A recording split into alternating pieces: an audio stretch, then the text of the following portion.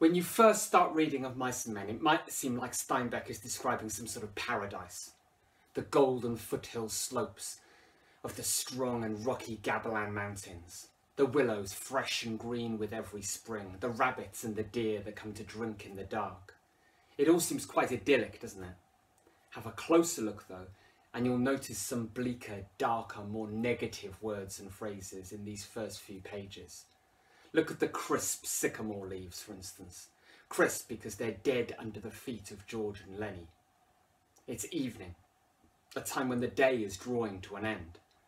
Death and darkness are everywhere as the shade climbed up the hills.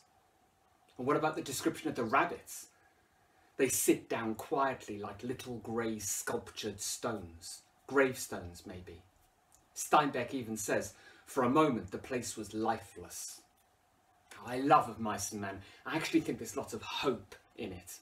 I think it's a really positive novel in lots of ways, but you can't get away from the despair and the negativity, I'm afraid. It's there in the title, an intertextual reference to Robert Burns' poem To a Mouse, in which he writes, the best laid schemes of mice and men gang after gley.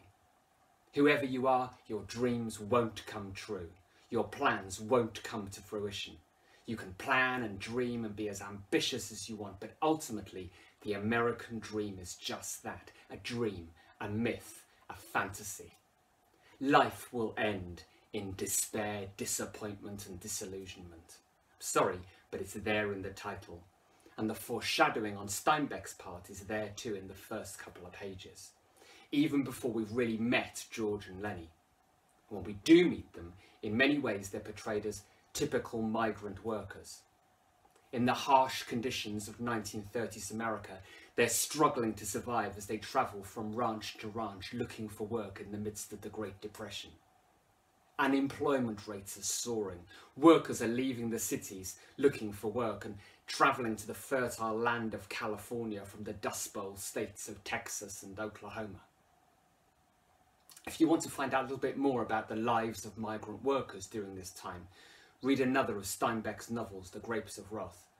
Listen to some folk music of the time by Woody Guthrie, or have a look at some of the photos of Dorothea Lange. When Steinbeck first described George and Lennie, he says that they were both dressed in denim trousers and in denim coats with brass buttons. Both wore black, shapeless hats and both carried tight blanket rolls slung over their shoulders.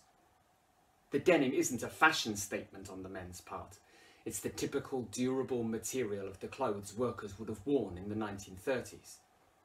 Steinbeck is telling us who these men are through their clothes. It's like as if they're wearing a uniform, if you like. People often refer to Of Mice and Men as a microcosmic representation of reality. So what we see in the novel is a microcosm, a little mini version of what's happening on a larger scale in the country. Steinbeck is writing a political novel here. He's highlighting the plight of a marginalised group of people, suffering in a country that's collapsing economically. In other ways, though, Steinbeck is saying the very opposite. In other words, that George and Lennie are anything but typical migrant workers. One of the main features of the migrant workers' lives that he seeks to highlight in the novel is their loneliness. Look at where it's set, near the town of Soledad. Soledad is Spanish for loneliness. And later on in the novel, we see them playing card games. One of the games that they play is solitaire. They live in a place called loneliness. They play a game called loneliness. It's not surprising that they're lonely. Why are they lonely? Well, it's a byproduct of their lifestyle. If you're constantly travelling from ranch to ranch looking for work and never have enough money to settle down anywhere, any relationships that you do form are going to be transitory and superficial. What about George and Lennie though? Are they lonely? Well, let's look have a, have a look at the dream that George recounts to Lennie towards the end of the chapter. Guys like us that work on ranches are the loneliest guys in the world, he says. They got no family. They don't belong no place. They come to a ranch and work up a stake and they go into town and they blow their stake. And the first thing you know, they're pounding their tail on some other ranch.